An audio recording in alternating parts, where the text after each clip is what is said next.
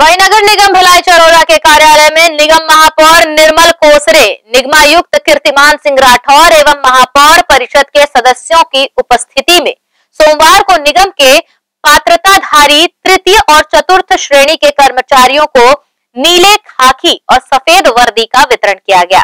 इस अवसर पर महापौर ने सभी वर्दी प्राप्त कर्मचारियों को अपनी शुभकामनाएँ दी।